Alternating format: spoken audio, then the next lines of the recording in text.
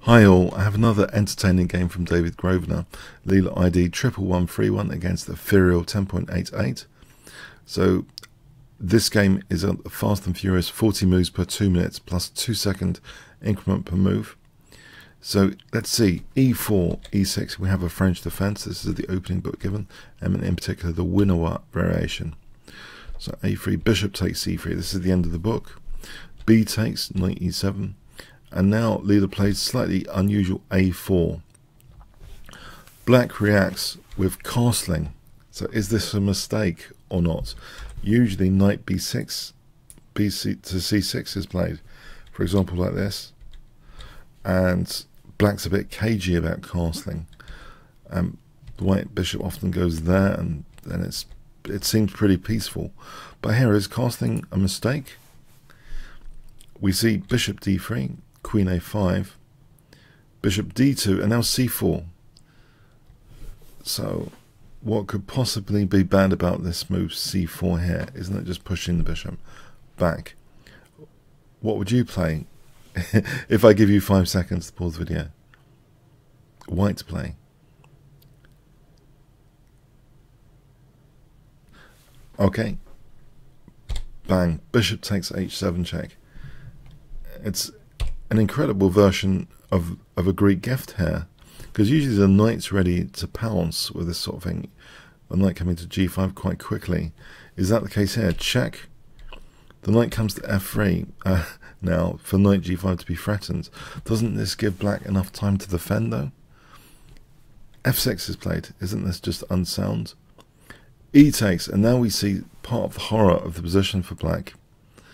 Uh, on rook takes f6, there's actually queen e8 infiltrating, winning the knight with a big advantage. So black really has the only option is g takes. Now we see h4, which reveals rook h3 as a possibility, possibility, very dangerous, as well as knight g5. The more invisible threat is knight g5. Uh, so trying to use that fishing pole mechanism to activate the rook here. Rook f7. And now we see knight g5 anyway. If rook g7, then there's queen e8. Ouch. So this now activates the rook as well as the queen, and we've got a dangerous pawn. How dangerous is this? Is black just busted here? King f8, trying to make a run for it. g6. This pawn is also an attacking piece here. Rook g7 is played. There aren't too many uh, interesting possibilities here. We see now Queen f3 check, King 8, and now a real crushing blow, Rook h7. It seems black is pretty helpless here already.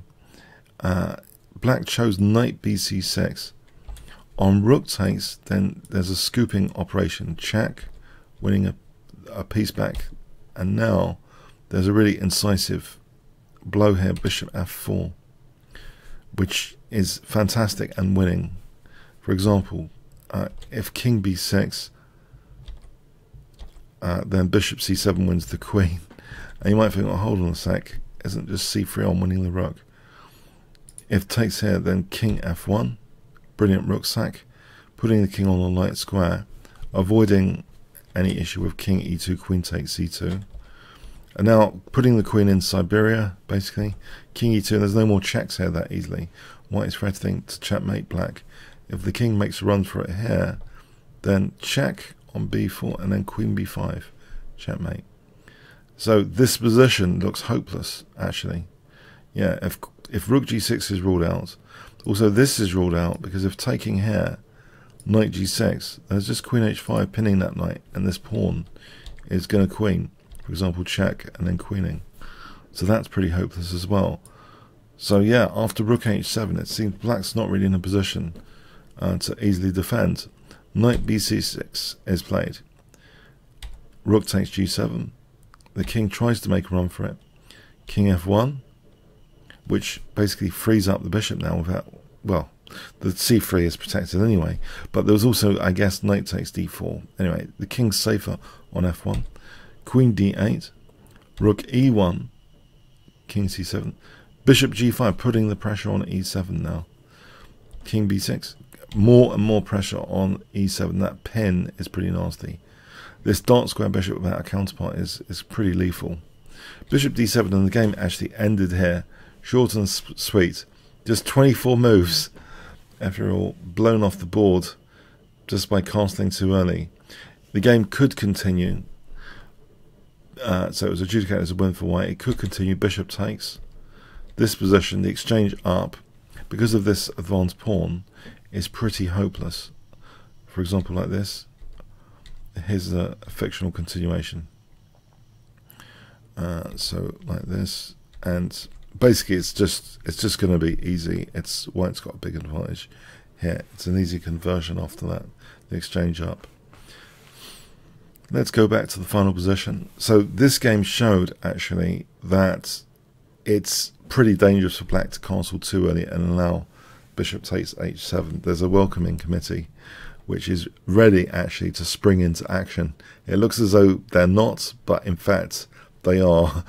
Uh, so as shown in this game, I hope you got something from it. When you play against the French defence, maybe you can pounce like this with bishop takes h7 as well in a similar situation.